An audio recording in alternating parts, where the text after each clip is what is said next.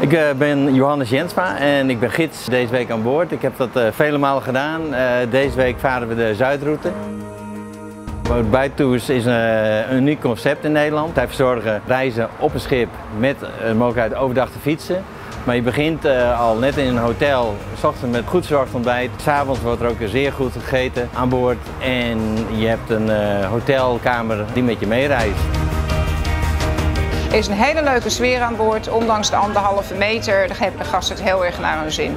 Wij hebben ehm, de gasten in twee groepen gesplitst. Zij weten uh, wanneer zij ontbijten. Uh, groep 1, groep 2 zeg maar. Wij merken dat de gasten heel enthousiast zijn, dat ze weer op vakantie kunnen, dat ze in Nederland zijn, in Nederland ontdekken op een manier dat ze niet bekend was. En uh, aan boord vinden ze het ook gewoon heel erg fijn. Es war wunderschön. Wir hatten absolutes Glück mit dem Wetter und das ganze Arrangement hat uns sehr gut gefallen. Ja. Wir waren offen. Wir wollten Holland auf dem Wasserweg und auf dem Radweg kennenlernen. Wir waren schon früher in Holland und unsere Erwartungen wurden absolut erfüllt. Ich kann auch nur sagen, man freut sich beim Morgenessen schon auf das Nachtessen und beim Nachtessen auf das Frühstück. Es ist reichhaltig, es ist abwechslungsreich. Wir hatten nie so etwas erwartet. Wir sind begeistert.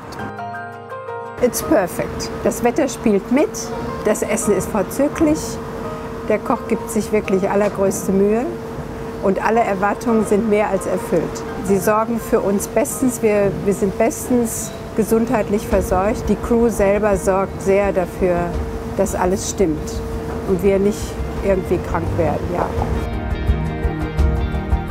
Auch die Unterlagen, die wir bekommen haben, die Karte, die Waypoints, das ist etwas so Geniales. Man kann sich nicht verfahren. Nou, juist nu is het leuk. Het is voor iedereen spannend met die coronatijd. Maar als je het hebt over uh, ventilatie, dan is een schip een plek waar altijd wind is. We zitten altijd s'avonds op het water. Op een fiets is het ook goed vertoeven. Dus ik denk dat het een hele ontspannen manier is om toch een leuke vakantie te hebben in deze tijd.